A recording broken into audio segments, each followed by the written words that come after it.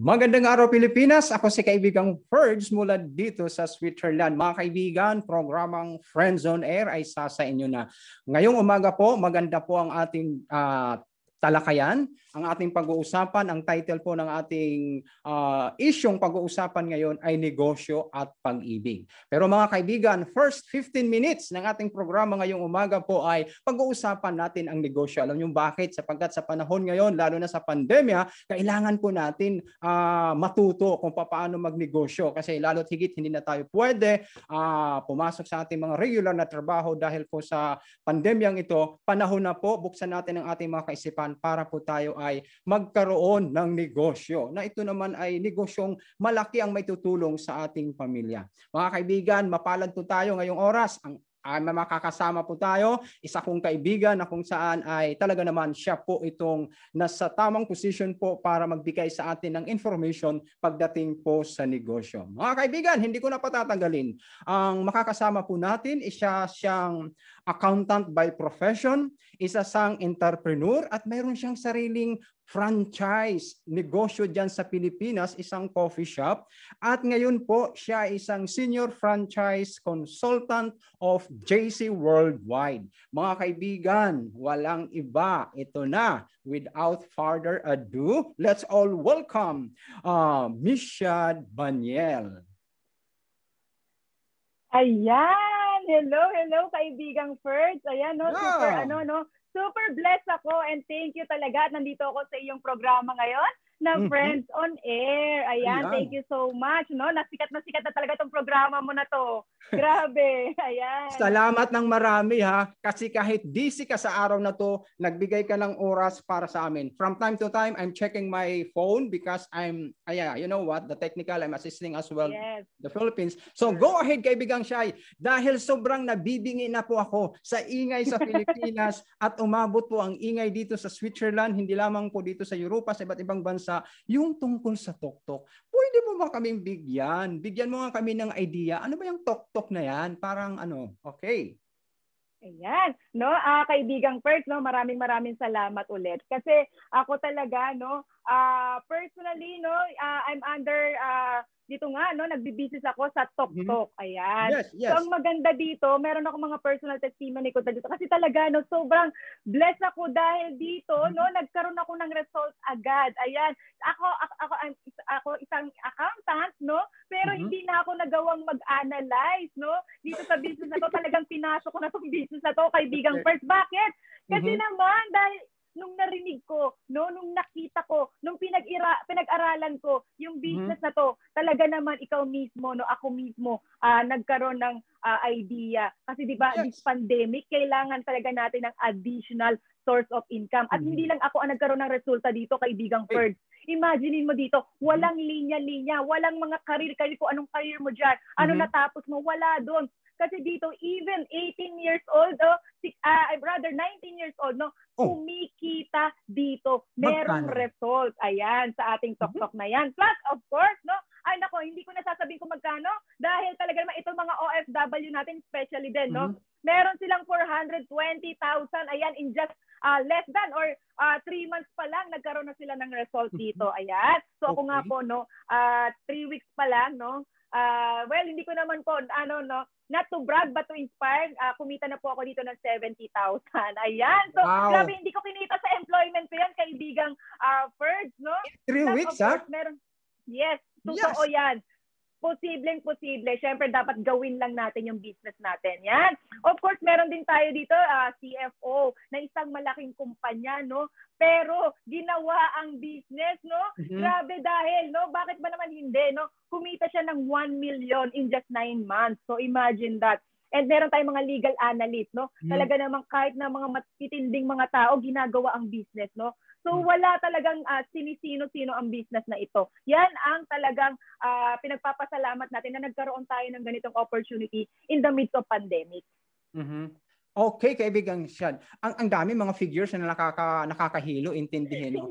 Alam niyo mga ka, ang mga kaibigan nating nanonood ngayon parang sinasabi niya talaga, ah, totoo ba talaga yan? Usually kasi 'yun ang impression ng tao, 'di ba? Pero ang binanggit mong mga figures at saka ito talaga ay kasama mo sa trabaho. Okay. So, ano naman kaya ang pwedeng mga benefits na pwede kong makuha? Halimbawa, kung ako ay uh, maging franchisee ng TokTok, Mm-hmm. Ayan, oh, magandang discussion natin yan. Yung mga okay. uh, uh, uh, benefits na makukuha natin sa mm-hmm. TokTok kung ikaw ay naging franchisee. There are three ways no to earn dito sa ating business. Yung mm-hmm. first, no, uh, since na online siya, no, uh, you can now earn no 3% as a TokTok online franchisee. Later okay. explain ko yan kung paano. Okay. Then yung next mo, no, 7% as a TokTok online operator. And then of mm-hmm. course, yung third, uh, kung ikaw naman ay isang tok-tok uh, rider, no? Yung sinasabi mm-hmm. nilang poging tok-tok rider. So yan. O yung first, no? Yung 3% po paano to, no, Shad? Okay. Itong 3% na ito,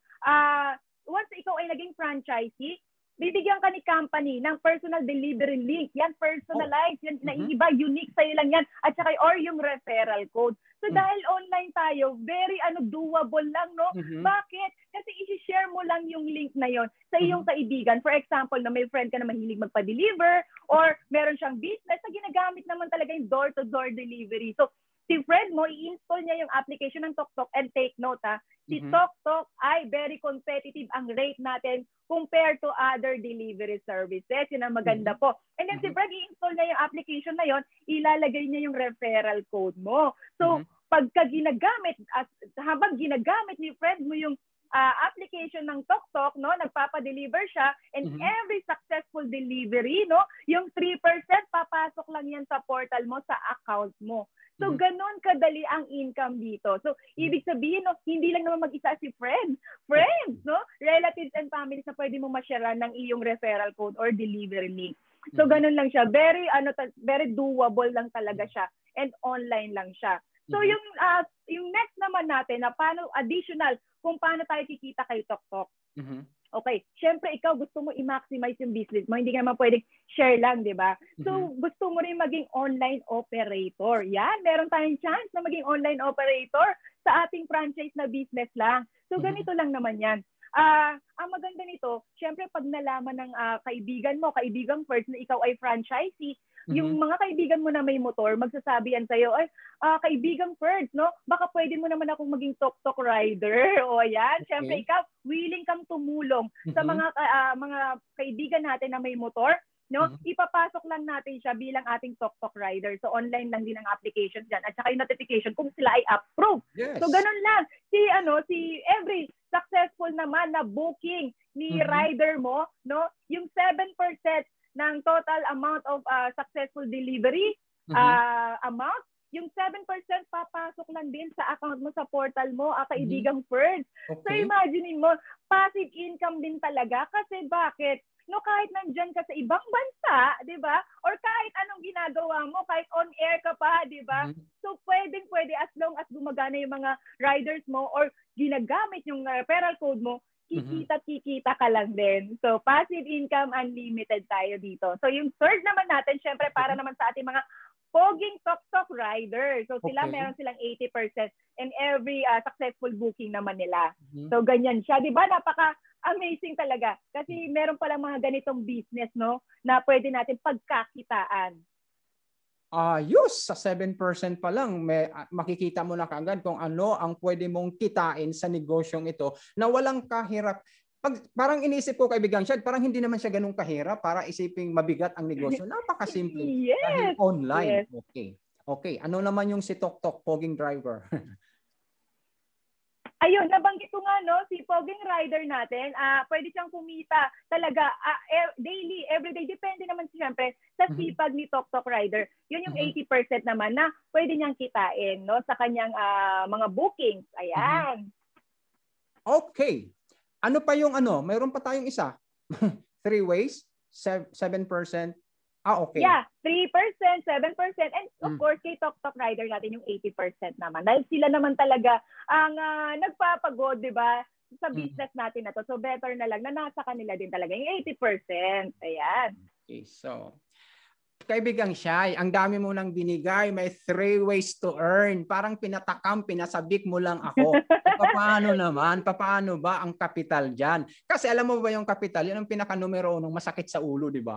Na papa- gusto mo yes. ang negosyo, pero wala yes. kang ano. Pero paano nga? Sige, kwentuhan mo kami. Mahal ba yan na? Ayun. Okay, Ayan. Kaibigang Perks, eto na lang, no? uh, very generous ang ating company sa totoo lang mm-hmm. talaga. So talagang binigyan tayo ng uh, opportunity na magkaroon tayo or ma- makuha ng mga Filipino opportunity na to mm-hmm. na mag mag-start up ng kanilang sariling business na meron silang mapagkakakitaan as additional source of income nila. Kung regarding naman sa uh, capital nito, syempre, ang tatanungin muna natin, yung sarili natin, no? Magkano ba ang gusto nating kitain? Okay. Syempre, kung for example, magpuput up ka ng isang sari-sari store, magkano ang kaya mong i-invest dun sa sari-sari store mo? Syempre, bibili ka ng mga stock mo, inventory mo dyan. Kung limited ang stock mo dyan, syempre, konti rin lang magiging income mo. Pero still, okay. income ka. And pag malaki naman, the higher na ang income mo doon or ang investment mo doon rather, syempre mas malaki din ang magiging income mo. Okay. Ganon din yon So ganito na lang, T, ay ganon lang guys, no? And mm-hmm. mga kaibigan dyan, mga friends on okay. air ko dyan, no? Mm-hmm. Iiwan ko na lang kay uh, yes. kaibigang Ferds, no? Mm-hmm. Kung ikaw ay interesado na kumita din ng katulad ng uh, nangyayaring resulta sa akin, no? Better, no? Kausapin mo yes. kaibigang Ferds dyan dahil alam na yun nga, isasabihin ko na sa kanya kung gaano ka dito uh, kikita. So, ayan. Uh, Pwede mo bang sabihin no? sa akin, pwede mo congratulate sapagkat ako ay isang tok-tok uh, tawag nito. Franchisee already! Yes! yes. Congratulations, kaibigang Perks. Hindi ka nagkamali sa iyong decision. Kaya mm-hmm. imagine niyo uh, mga friends, no? Kahit na yan si kaibigang first nakikita naman natin na kayang-kaya niya ng sa buhay no meron naman siyang nakakain actually nga nasa ano siya no uh, pinakamayamang country tama ba ako pero still no nag-engage na sa talk-talk dito sa business natin. Bakit? Kasi naman, yung potential, alam mo yan si kaibigang Perds, pinag-aaralan talaga niya yan bago mag-engage sa business. Hindi mo mapapasali yan basta-basta. Pero dito, no, nagtiwala siya at hindi lang yan na ang laki ng ano niya, ng uh, maraming franchise po dito si ano si kaibigang Perch, hindi ko na lang sasabihin, no? Malaki po ang kanyang ininvest dito, ah, mga friends natin. Kasi gusto niya rin, no? ng malaking income pagbalik. So, ganun din. Kaya ito, pwedeng-pwede natin tanungin si kaibigang Perch, magkano ang ininvest niya? So, kayo na lang mag-usap ni kaibigang Perch mm-hmm. regarding that. Okay, pero alam mo kaibigang uh, Shad, ikaw rin ay nag, nag dinisclose mo kung nasa 70,000 ka na. Malayo pa ako roon, pero sa buwang ito, mayroon na ako. Akala mo ha? mo? yes, of course. Yes, of okay. course. Uh, magtutulong-tulungan naman tayo dito sa business. Ang mahalaga dito, uh, mga kaibigan, no, uh, hindi mo gagawin ang negosyo mag-isa huwag kang matakot, no? Kasi ito talaga helping business to. Hindi, kumbaga, dito talaga, ito nga kakaiba tong business na to kasi dito talagang ipupush ka na kumita, na i-grow yung business mo. Yan ang maganda sa isang negosyo. Natitrain ka, na meron kang mga strategy, may mga katulong ka, may natatanungan ka. Ayan. So plus, added pa, no? Andyan si kaibigang Ferd. At saka isa pang maganda dito sa negosyo, marunong kayo mag-pray direkta sa Diyos. Yun ang usap hinangaan ko. Bawat meetings na meron tayo, Napansin meron ka pang one yes. minute kasi. Meron ka pang one minute kaya minamaximize ko. Um, yun, no isa yun sa karakteristik ng company ito na marunong manalangin. Yes. Pinapasalamat yes. ang lahat ng bagay nito. Ayun, marami pong salamat kaibigang Shad sa inyong panahon kasi alam ko may meeting ka afterwards nito at tayo po ay nagmamadali rin. Kaya sa mga kaibigan natin na gusto po mag-inquire magkanong investment, pwede ko naman sabihin yan mamaya pagkatapos nito, ay pagkatapos ni kaibigang Shad. At ako na po ang bahala sa mga tanong nyo dahil ako ay isang franchisee na po at ginugro ko na ang negosyo. Katulad ng sabi ni Shad, hindi rin po ako katu, uh, mad, uh, hindi ako impulsive sa business, sali ng sali, inaalam ko muna kung ano ang concept, kung ano po ang yes. system na kasi sayang ang pera, mga kaibigan, malaki pong in-invest ko rito. Hindi joke yun. Wala akong trabaho dito pa, pero ginawan ko ng himala. Yan. Kaibigang Shad, 10.50 na. Time mo na para mix it. Maraming salamat, kaibigang Shad. Thank you, thank you so mamaya. much, kaibigang First. And thanks to all mga friends on air. Yeah, bye-bye. exact.